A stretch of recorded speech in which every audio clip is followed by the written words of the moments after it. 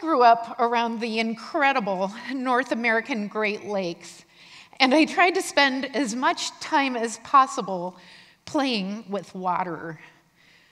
In the summers, my family vacationed on Lake Huron, and we still do. Here I am at four years old with my little net meant for catching butterflies, but that I found worked equally well for scooping up the little animals and plants from the lake. My sister and I would spend hours trapping whatever we could catch from little crayfish to minnows to tadpoles, and we would put them in our mom's wash basins and we would watch them. Now, during the rest of the year, I was forced to go to school while waiting around for that next summer. And after school, I um, took piano and voice lessons, played in the marching band, sang in the choir. Little did I know at the time that I would remain in school for the rest of my life. and little did I know I would get to have this career where I get to spend my time in lakes studying their little plants and animals. Who knew that was even possible? And I never could have guessed that these two passions of mine, water and music, would come together in my professional life. Well, now I'm a freshwater ecologist and I study lakes and wetlands for a living. We all know that the world is changing, right? It's changing so much and it's changing so fast. Well, it turns out that lakes are just our best sentinels of these changes. They tell us what's going on with the planet. These two lakes are sending us different messages. The lake on the right is one that I got to visit in China. It's a lake that has these massive blooms of toxic blue green algae. This is algae that is really threatening the freshwater and food supply of the 7 million people that live around this lake. And we can contrast this to the lake on the left, which is um, beautiful subtropical Lake Annie. It's on the protected property of Archbold Biological Station up in south central Florida. My job as an aquatic scientist is to help figure out why do lakes look like this and how can we keep water looking like this lake on the left? And I get to do this with other aquatic scientists who share the same passion. I'm a member of the Global Lake Ecological Observatory Network, or GLEON. GLEON is comprised of scientists from all around the world who really care about lakes and their tech toys, in this case, these buoys. Buoys float on the lake's surface and they have all kinds of sensors that extend down into the water, and those sensors collect data, and those data are telling us what's going on in these lakes. And again, the lakes are telling us about the world. We just have to listen. Now, I take care of the buoy on Lake Annie. It's sort of a joint custody situation with the folks at the biological station who visit the buoy every month and record the data and help take care of the instruments. And um, the Lake Annie, like all the GLEON buoys, has a string of thermometers that extend down from the top to the bottom of the 60 foot deep lake.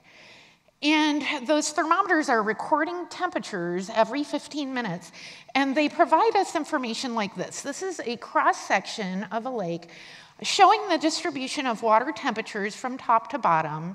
And in this example, we have the warmer water coded as red, and the water gets colder and colder and colder as we go down deeper, and you can see that gradation from yellow to green to blue.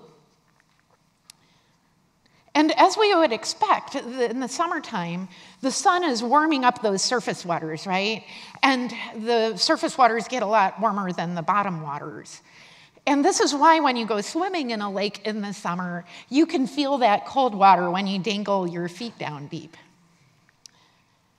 This is a heat map. It's the same kind of information, but it's the real data from Lake Annie extended over time, over a three year period. And in this map of Lake Annie's water temperatures, we can see that surface water in the first part of the record getting redder and redder and redder, right, in the top. And that means that the water is getting warmer and warmer. And by the end of the summer, the water is the, losing heat to the atmosphere. And so we see the plot go from yellow to green, and that means that the lake is getting colder all the way from the top to the bottom.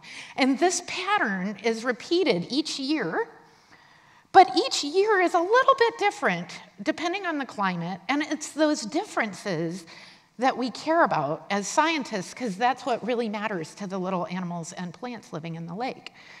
And so I started digging into these differences in Lake Annie and looking at the details there and in some of the other Gleon lakes. And noticed something interesting. Let's pull out the middle part of this record from the summer of 20, 2009 to this very cold winter of 2010. On top of this heat map, we have the actual weekly average temperature values from the top, middle, and bottom of the lake. And as a scientist, I looked at this and I saw the typical seasonal pattern and that cold spell that happened in the winter. But I also, as a musician, saw something else. I saw music. And so I couldn't help myself. I took the data and I took the average of all those water temperatures and I called that middle C on the piano.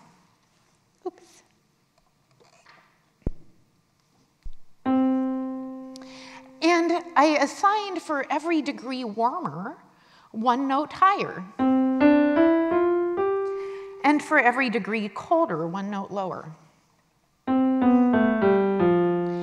And so, with every temperature assigned to a note, we can actually listen to that transition from winter to summer in the surface waters of this lake. And it sounds like this.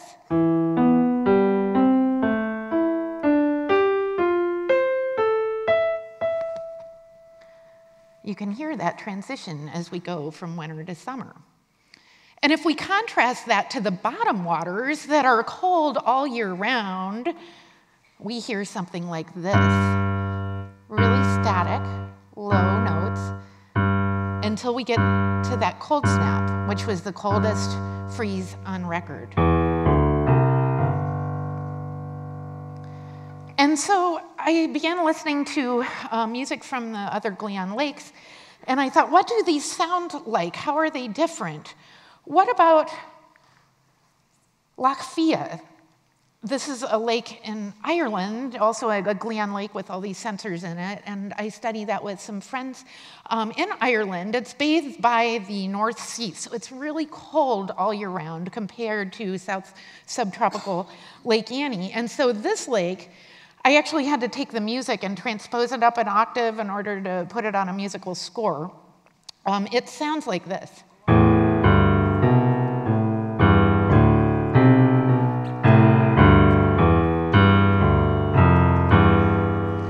Almost like it's groaning, and it sounds like that all year round. we can contrast that to a lake in Wisconsin that in Wisconsin experiences all seasons winter, spring, summer, fall. Lake Mendota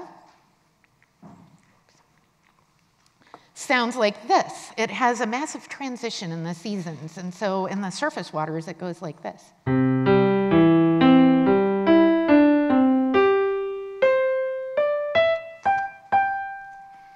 A much greater range of pitches than the other two lakes because it has that really distinct seasonality going on.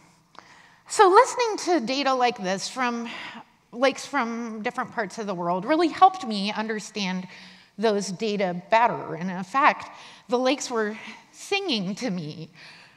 In addition to hearing the differences in the high and low temperatures, I could sense the pace and pattern of change. I could sense the degree to which these patterns were repeated or not across years.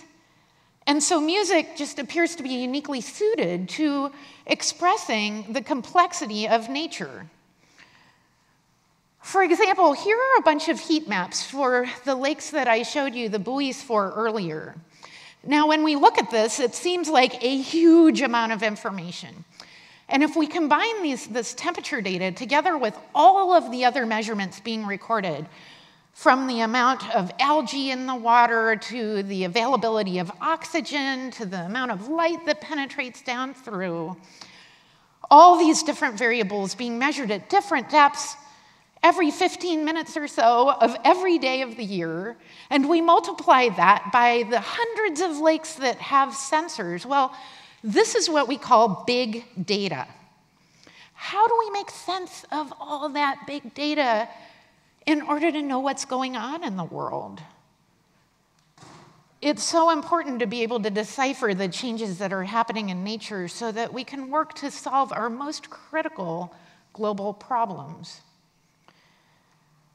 Well, perhaps putting together scientific stories from really complicated data might not be that different from composing music. And Beethoven showed us this in his really complicated symphonies. If you look at a musical score, you see that it has a time signature that indicates the pace of change. And then it has key signatures, parts for different instruments, different tempos, adagios, uh, different movements, all of which are expressions of what's, what's trying to be conveyed, and all of which tell us something about change and even enables us to anticipate change. And let me give you an example of that that I think you'll all relate to. We've all seen the movie Jaws, right? Everything's going along fine. We think everything's okay. But what is it that causes us to get really scared and anticipate that something's about to happen? right? It's not that different for lakes. Researchers tell us that the human ear can discern differences and changes more acutely than the eye can see them. And for this reason, scientists and musicians from all around the world are coming together to explore data through music. And they're allowing nature to write songs like this. So, for me, and perhaps for you, music might just be the best tool we have for exploring the complexities of nature.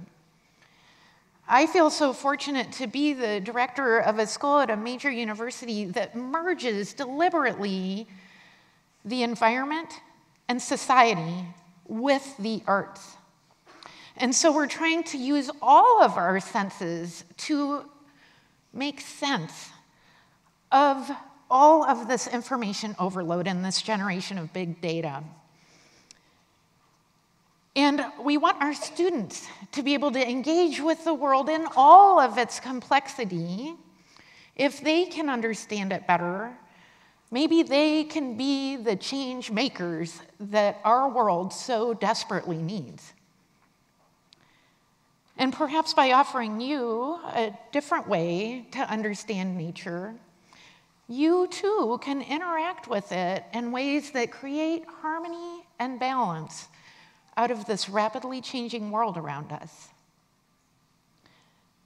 And so now I'd like to leave you with three years of a song written in effect by Lake Annie and interpreted by me and arranged and performed by our FIU School of Music students. This is Lake Annie's song.